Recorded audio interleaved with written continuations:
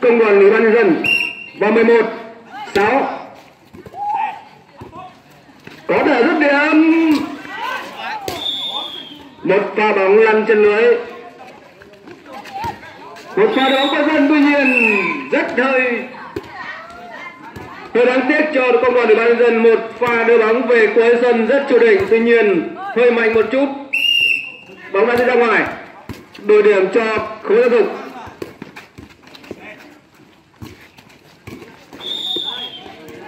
Một pha chân bóng không thành công. Tiếp tục là những pha bóng không hiểu ý của đội một công đoàn ủy ban nhân dân. Và những điểm số liên tiếp của khối giáo dục.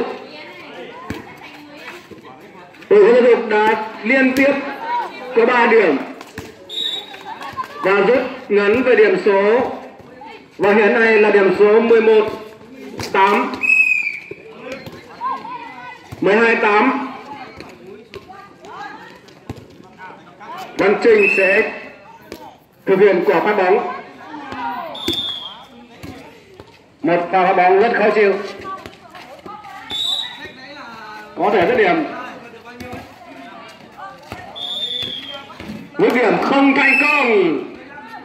13 8 Văn Cường sẽ thực hiện quả phát bóng về cuối sân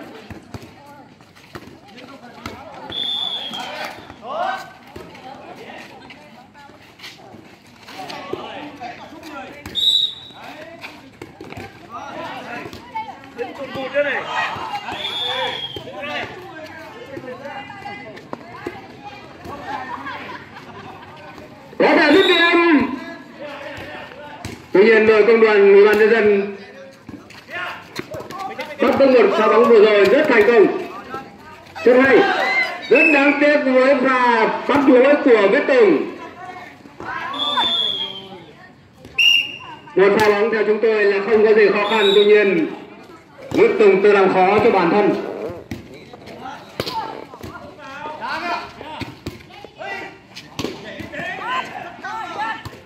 Đoàn quốc có thể dứt điểm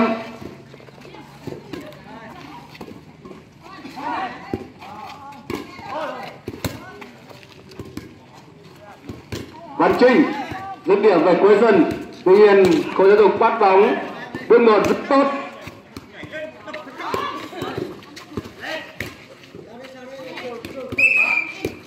Lỗi bên phía giáo dục. Triều quốc. Đã chạm vạch. Thế anh phát bóng. Đưa bóng về cuối sân. Có thể dứt điểm tuy nhiên triệu quốc là đưa bóng về cuối sân. Có thể dứt điểm rất hay. Tuy nhiên bóng một rất tốt những pha bắt bóng rất lỗi của việt tùng. Những pha bỏ nhỏ không thành công. Và 16 8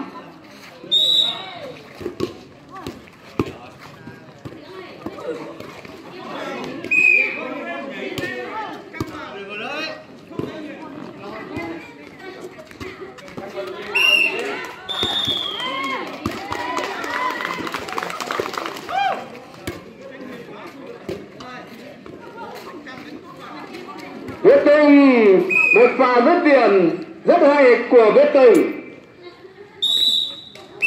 10 16 Tuy nhiên rất đang tiếc cho Văn Dung với pha phá bóng vừa rồi. Bóng là ra ngoài sân và đội điểm cho đội 1 công ủy bản nhân dân. 17 10 và bên phần sân thứ hai hiện nay trận thi đấu bóng truyền hơi nữ diễn ra rất hấp dẫn hai đội và hiện nay điểm số 6 năm. Và hiện nay rồi công đoàn khối giáo dục đã cân bằng điểm số 6 đầu.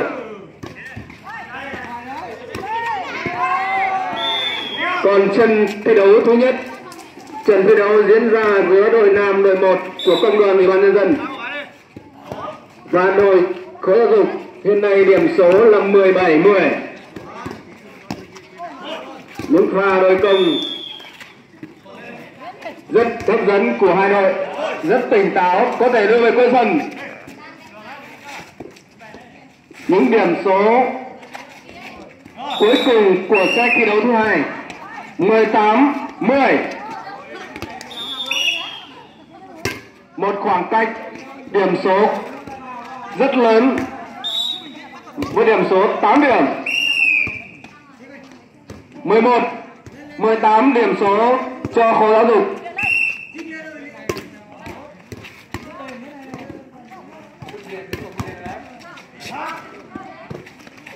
Một pha bò nhỏ không thành công. 19 11 điểm số cho đội 1 công đoàn ủy ban nhân dân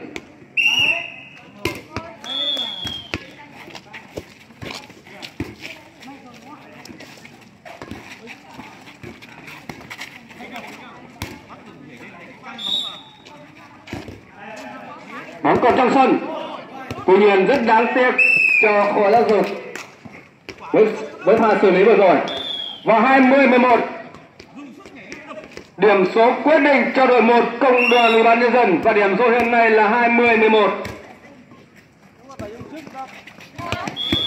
một. Pha rất điểm rất hay của Vũ Tùng tuy nhiên rất hay với pha xử lý của khối của công đoàn ủy ban nhân dân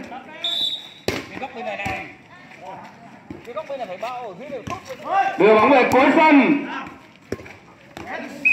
Một pha đưa bóng trở lại của công đoàn ủy ban nhân dân. Tuy nhiên bóng ra ngoài. Và 12 20 những pha bóng rất tập trung của hai đội. Có thể rút điểm không thành công và điểm số quyết định là 21 12 đội một công đoàn đoàn nhân đã giành thắng lợi với 2 không.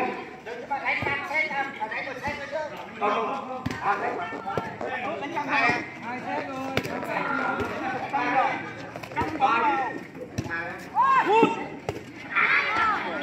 những video hấp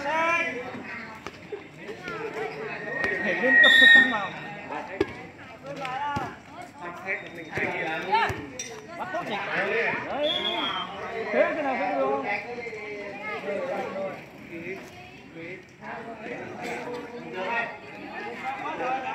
và tại phần sân thứ hai hiện nay giữa đội nữ bóng truyền hơi công đoàn ủy ban nhân dân và khối giáo dục. Và hiện nay điểm số là 12 10 nghiêng về khối giáo dục. Một pha phát bóng rất uy lực bên khối giáo dục và 13 10 Đấy, trong cái quả trống này rất bây giờ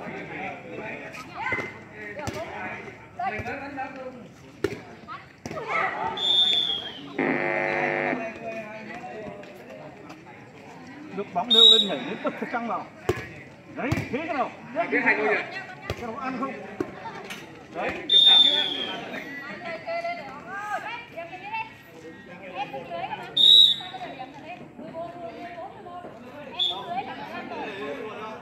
Điểm bên này là cô Hồng nó dưới. Đây, 15.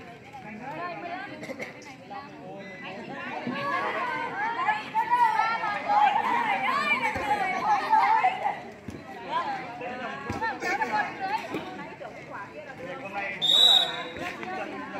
Xin mời đồng chí Hoàng Văn Trinh lên làm trọng tài.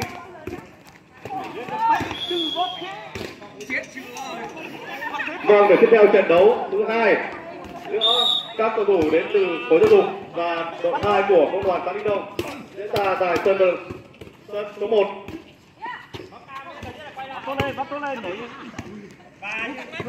ở trận đấu thứ nhất công đoàn khối giáo dục đã để thất thủ trước công đoàn số 2 của công đoàn xã Linh Đông và bắt buộc các cầu thủ của liên tục phải một lần nữa phải vượt qua đội số 1 của công đoàn xã Linh Đông điều khiển trọng tài chính điều khiển trận đấu ngày hôm nay. Hoàng Văn Trinh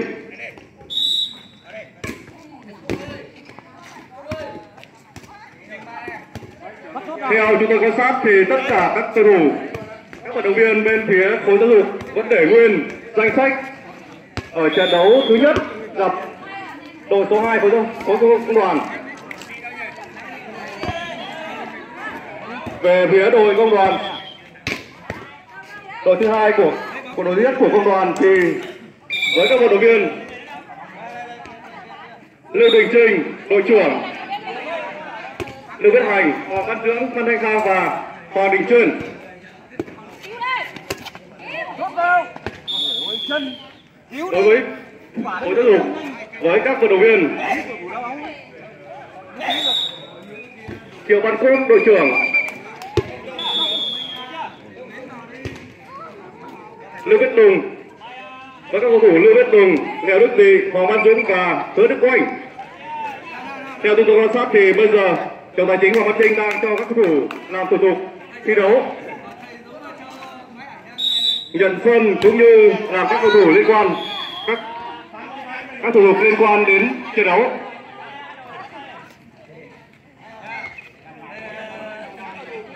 Bắt khối bắt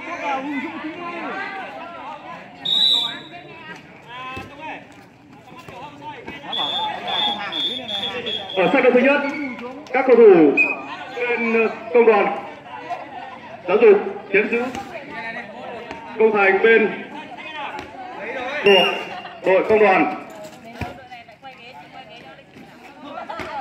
Bóng ngoài rồi. Như vậy là điểm số đầu tiên đã thuộc về khối công đoàn cơ sở xã Đình Thông. Một không. Phát bóng của Khánh Khang. Dứt điểm, giật đến không qua lưới rồi. Điểm số thứ hai thuộc về công đoàn tổ một. Chín năm cho công đoàn xã. Vâng rất tiếc khoảng dưỡng này phát bóng không qua lưới đổi về điểm cho công đoàn giáo dục. Hoàng dũng là người thao bóng. Điểm sáu chín. Không được những cái điểm hơi với của vận động viên công đoàn. Các quan.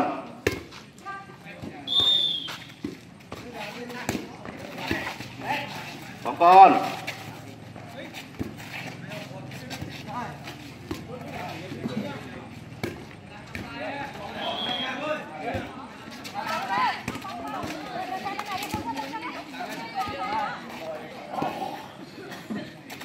thế một thằng cấm càng càng co nữa con đại con! Vẫn chưa được.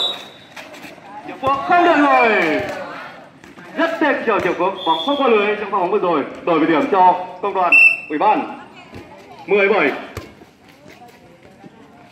Lèo thị! Ngoài sân rồi. Rất tên chờ Lèo gì điểm 11 7 cho công đoàn 13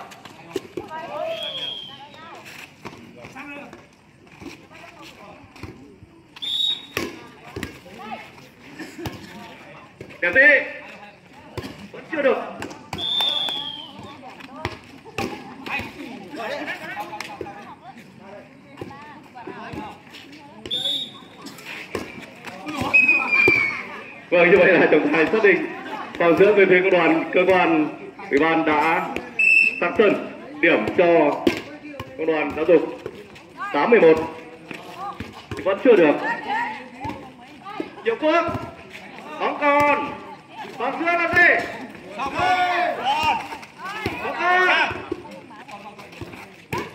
Phát được rồi, cuối cùng thì Hoàng Dân đã không thể đưa lùi qua bóng, qua bóng quả lưới. Điểm cho công đoàn giáo dục 91. Hai đội cố lên và đặc biệt là công đoàn có giáo dục.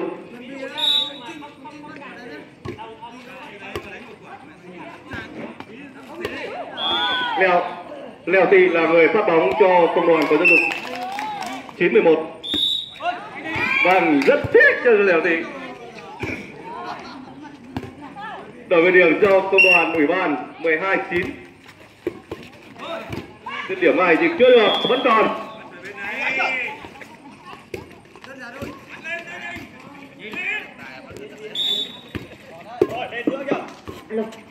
Như vậy là song song với trận thi đấu bóng bóng chuyền hơi nam trước phía sân sân của vị khán giả thì bên này sẽ là đội tuyển nữ. Như vậy đến thời điểm hiện tại là set thi đấu thứ ba. Với chiến thắng chung cuộc hai không với hai set đấu. Quân đoàn khối giáo dục đã để Và đây là set đấu thứ ba. Đây là điểm số vừa cũng đang nghiêng về điểm công đoàn viên của 13 bên khối 9 giáo dục. Năm ba. ban 13 9 Với sự kết hợp rất khéo léo của các cầu thủ đội tuyển giáo dục thì đã ghi điểm liên tiếp cho đội mình. Vâng, trọng tài xác định đã có lỗi bên phía đội tuyển công đoàn ủy ban nhân dân. Điểm số 6 cho công đoàn khối giáo dục rồi. Một pha xử lý bắt đầu không tốt của Mao.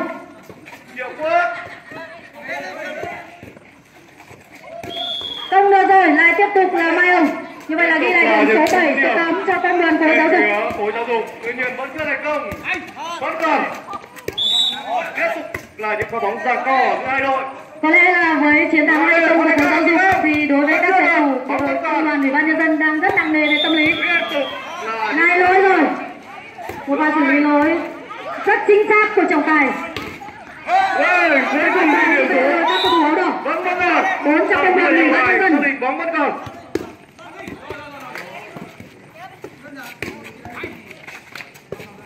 rất hay những pha bóng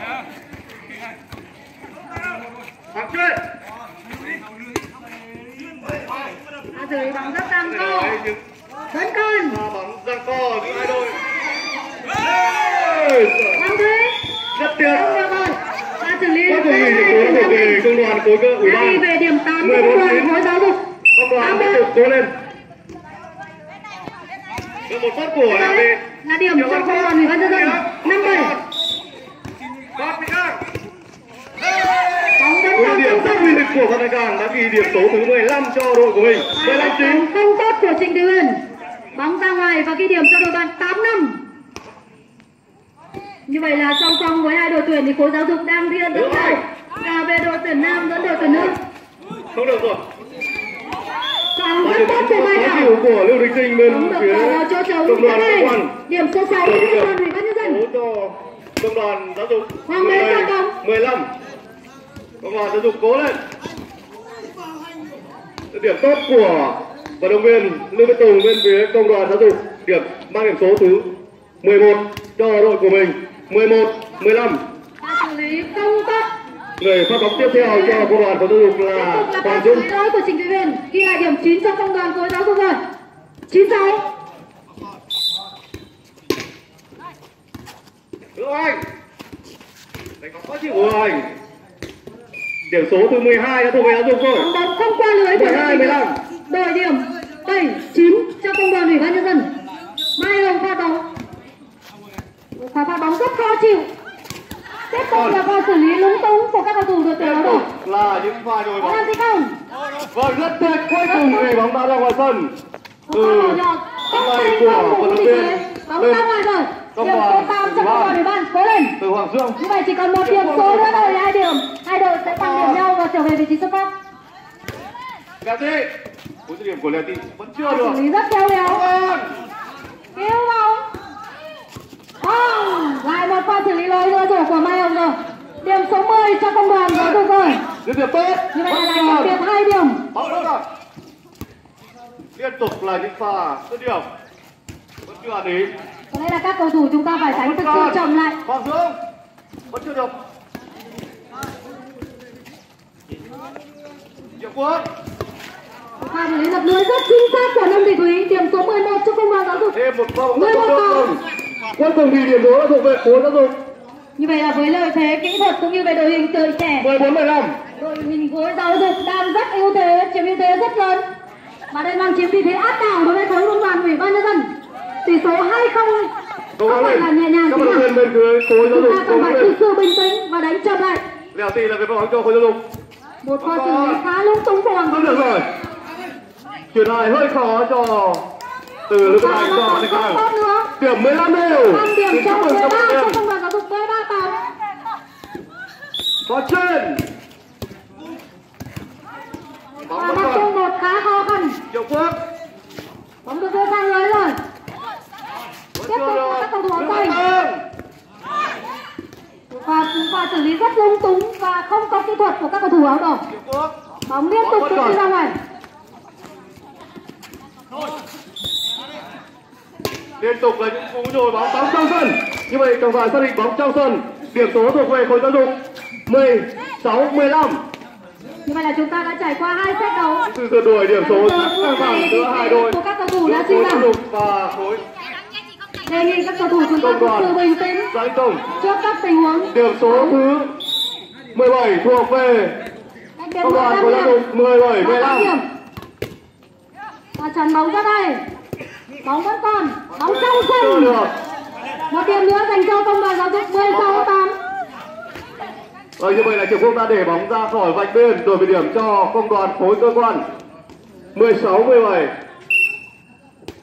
Phát bóng là Phan Đại Cang, phát bóng khó chịu của Phan Đại Cang. Bóng còn. Phan Chuyên. Phải. Đó là cái điểm của Hoàng Dưỡng. Cái tùng. bóng ngoài sân rất may là trong tình huống vừa rồi có bóng ngoài sân nên các cầu thủ áo đỏ được hưởng một điểm số 9 16 Điểm 18 16 cho Hai đội có lên. Hoàng Dưỡng. Để bóng lo. Rất khó chịu. Ừ, bên các vận động viên bên phía bóng tốt của Đông Thị Phượng điểm số tiếp theo của đội giáo dục 17 9 bóng còn vẫn chưa được hoàng chuyên làm gì. Vẫn chưa. Như vậy là xét về mặt kỹ thuật cũng như thể lực hiện nay đội giáo dục đang chiếm ưu thế rất lớn trước các tuyển thủ của đội tuyển ủy ban nhân dân. Bóng lọc tốt nhiều quân về kỹ thuật cũng như là về độ tuổi. bóng ra co liên tục là những cú nhồi bóng. Cuối cùng thì hoàng dưỡng đã để bóng ra ngoài vạch biên điểm số thứ 19 đã thuộc về khối giáo dục À, bóng tốt. 19 16 leo tê. Bóng ra ngoài. Điểm phổi điểm cho công đoàn ủy ban 10 17 Mai Hồng phát bóng bóng còn nữa có lên. Nhiều quân rất điểm ngoài sân Rất tuyệt chịu. cho Đã trường điểm vận động viên bên phía chính công dục tiếp tục là điểm số viên bên 11 phía cho công đoàn đoàn áo đỏ xã Ly Tông đã đứng nhìn cho quả bóng vừa rồi. Bóng ngoài sân. Set bài set bài thứ nhất thuộc về các vận động viên bên phía khối giáo dục 20 17 co trong sân. Người phát bóng cho khối chịu Thị dục Thúy làm gì không? Lương Văn Tùng. Không được rồi. Phan Thành Cang bóng ra Thị được. Thúy Lương Văn Tùng. Bóng ngoài sân. Điểm không không được rồi. 12, vâng như vậy 12. trận đấu kết thúc. Có lên. Thứ nhất kết thúc. Vậy cách điểm điểm số chỉ có với 5 tỷ điểm số thôi. 21 17 thuộc về các vận động viên đến từ khối giáo dục xử lý rất tốt của Vũ Việt Quế bóng đã được đưa vào lưới rồi năm người đối làm gì không bóng tiếp tục ngoài sân như vậy là hai pha xử lý liên tiếp của nông thị thúy đã được ghi điểm cho các tuyển thủ đội công đoàn 13 17 cách biệt đã được rút ngắn 4 điểm mà thôi các cầu thủ có lên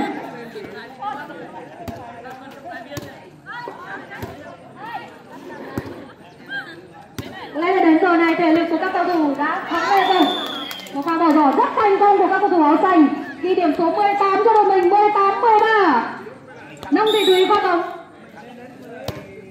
và phát bóng rất mạnh hai đảo và là bóng rất cách bóng vẫn còn trong sân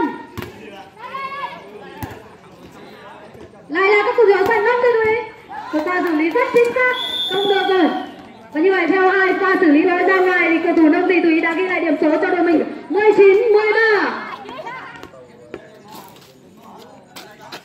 Xin mời quý vị các bạn và quý vị khán giả trở lại với sân bật với sân đấu số 1 để tiếp tục theo dõi sách thứ hai trận đấu giữa hai đội khối giáo dục và đội một của khối ủy ban nhân dân. Chạm tay là ủy ban nhân dân. đánh giá trong buổi giao lưu ngày hôm nay đầu tiên là bóng đã đi ngoài sân đổi điểm các thủ đỏ nơi đến Hoàng 19 Chuyên cú dứt điểm của Hoàng Chuyên bóng đã đi ra khỏi vạch biên điểm số đầu tiên đã thuộc về khối giáo dục một không. Pha bỏ nhỏ khá khéo léo của tiếp theo là thúy viên Leo Đức Tị các cầu thủ đỏ làm gì không? Và bóng tục của Leo pha Tị lý rất tốt của các cầu thủ áo xanh. 20 14 còn rất khéo léo.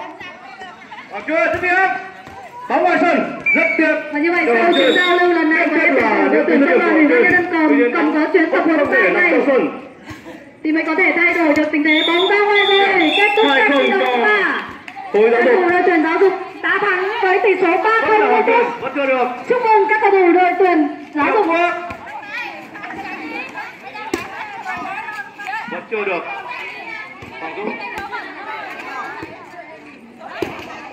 Hoàng Dũng cán bóng tốt của Lưu Văn Tùng bên phía giáo dục mang điểm số thứ ba ba không